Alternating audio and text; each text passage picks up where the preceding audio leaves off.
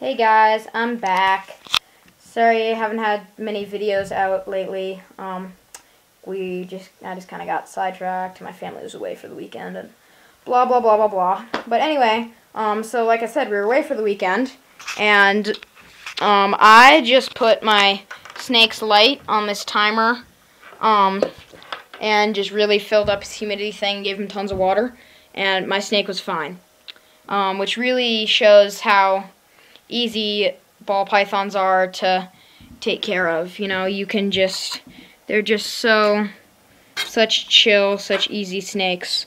You, you could probably realistically walk out of your house right now and just be gone for three weeks and your python would be fine. They're just so easy to take care of. Um, just really great animals. So, anyway, here I'll get my python out. We can do a little bit of handling for a couple minutes here. Um, I'll also have some. I'll also have some cool little facts about pythons that I can spew while we're chatting.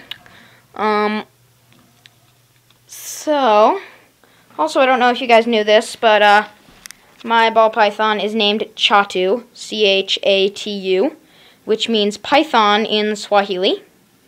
Um, even though the ball pythons, their natural range only like barely extends into any Swahili-speaking countries, but whatever. And um, also, let's see some cool facts. They were have been referred to as royal pythons. For there's a number of um, hypotheses or whatever it's called, hypotheses about why that is. Um, the first one I heard was that the um, king of some northern African country, I think it was like Morocco or maybe the pharaoh of Egypt, um, had had um, a rat problem and he used them to exterminate the rats. Another one I've heard from um, actually a friend of mine, Timmer66 Productions. Make sure to check him out. But um, I've heard from him, which is that Cleopatra wore these guys as bracelets. So there's a lot of theories about that. Um, so let's see. What are some other cool little facts? Um, they ball pythons they can be grow up to five feet, although they rarely exceed 3.5. I think the world record is like I don't know, like five, up there, five, six feet. But, you know, five is unusual. Um, 3.5 or, you know, three, four feet, that's probably what you should expect. Um, I have heard that they will live up to 30 years, although I kind of, although, you know, it really varies. Um, so yeah, that's just a bunch of, couple of facts.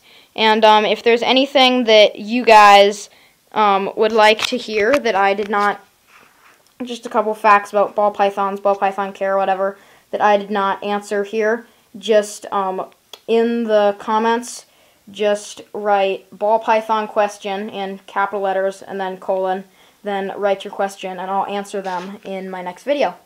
So anyway, um, see you guys later. I'll have some more videos coming soon. Um, so yeah.